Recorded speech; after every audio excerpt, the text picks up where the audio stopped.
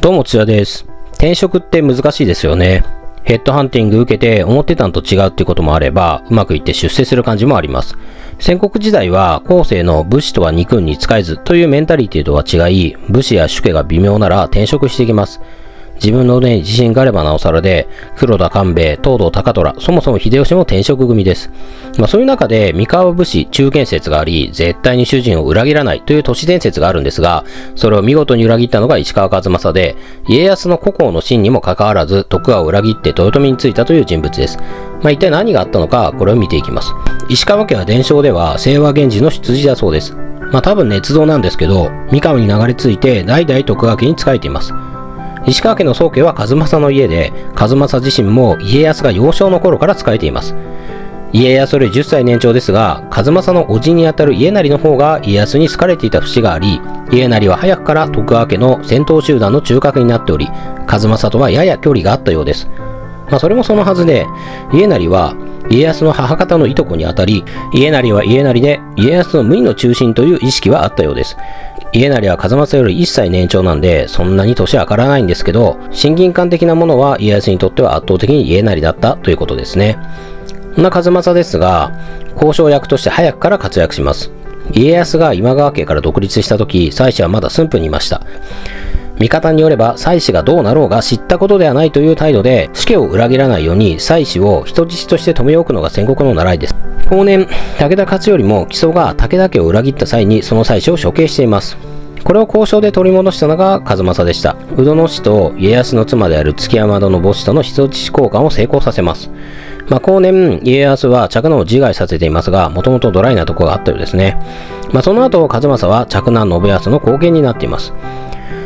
織田信長との同盟に関しても、数正は交渉して成功に導いています。簡単に同盟したことにはなっていますが、実際しばらくは今川方として活動していた家康は、信長と紛争を繰り返しています。そもそも織田家と松平家は親や祖父の代からの宿敵で、両家の家臣団での遺恨は根深いものでした。それに徳川家は独立したばかりで地盤も整ってません。これを対等な同盟に持っていったんですから大したもんです。織田家が拡大するに従って従属的な関係に変わっていきますが、まあ、少なくとも当時はお互いの利害が一致した同盟でした。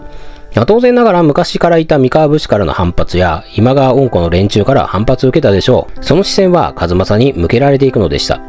とはいえ、家康国王の臣としての活躍は続きます。三河一向一揆では、ジップの安政、家康を裏切ったんですが、数正は浄土宗に改宗して家康に尽くします。もっともこの影響で石川家の宗家は家成が継ぐことになってしまうんですけどね。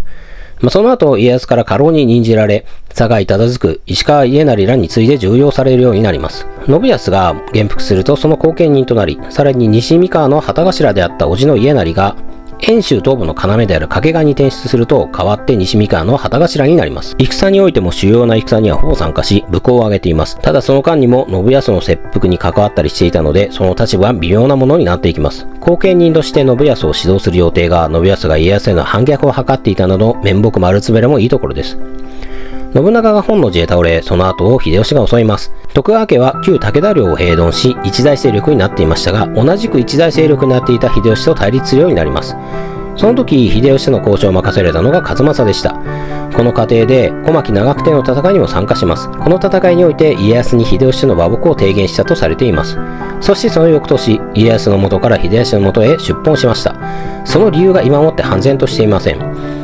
風政は三河勢の軍事的機密を知り尽くしており、この出奔は痛手でした。いわば会社の仕入れ値や取引ルートなど全部知ってる状態ですね。以後、三河勢は三河以来の軍勢を武田流に改めることになったと言われています。ではなぜ出奔したのか。ここからその推察をしていきます。まず、秀吉のヘッドハンティングに乗せられたという説があります。別にスカウトすることは普通なことなんですけど、秀吉の場合は不代の家臣がいません。それを補うようにいろんな人を集めないといけないのです。なので、秀吉は本田忠勝や井伊直政にも声かけますし、小早川隆景や立花宗茂、直江兼次片倉幸十郎にも声をかけています。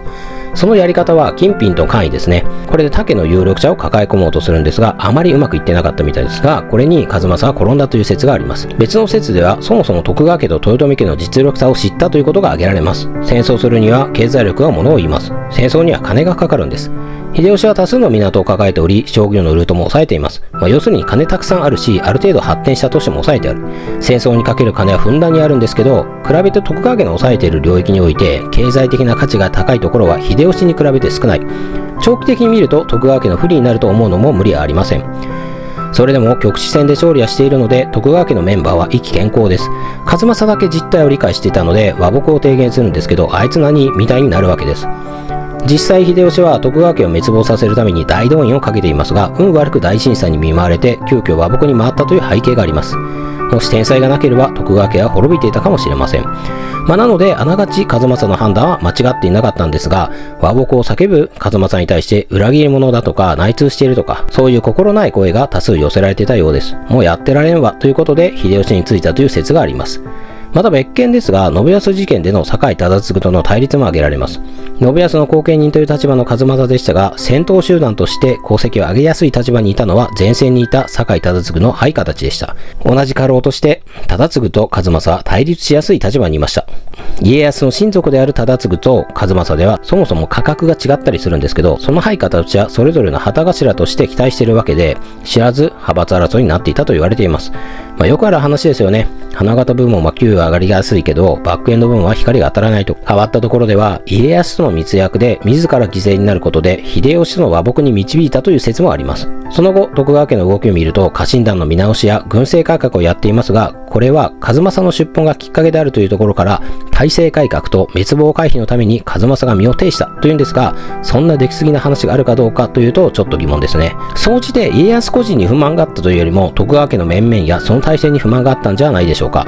交渉を通じて竹を知り、相対的に徳川家の実力を知ったものの、胃の中の蛙のような徳川家の家臣たちとは溝ができてしまった。一生懸命徳川家のために尽くしているのに理解されず、非難され、家康にしてもそんなに数正をかばった形跡もなく、心が折れたんじゃないですかね。まあ、中心だからといって何でも言うことを聞くわけじゃないんです。その後、数正は河内に8万石で入り、その後松本10万石をもらいます。現在の松本を作ったのは数正ですが、1593年61歳で亡くなります。一見、戦直に成功したと思いがちですが、がその息子たちは徳川家に冷遇され、全員改易されました。本当に密約があったんなら、家は残るはずですよね。それだけ徳川家にとって数松の動きは痛手であったわけですが、死死孫孫その家を残せなかったわけですから、長じてみれば転職はうまくいかなかったということになりますかね。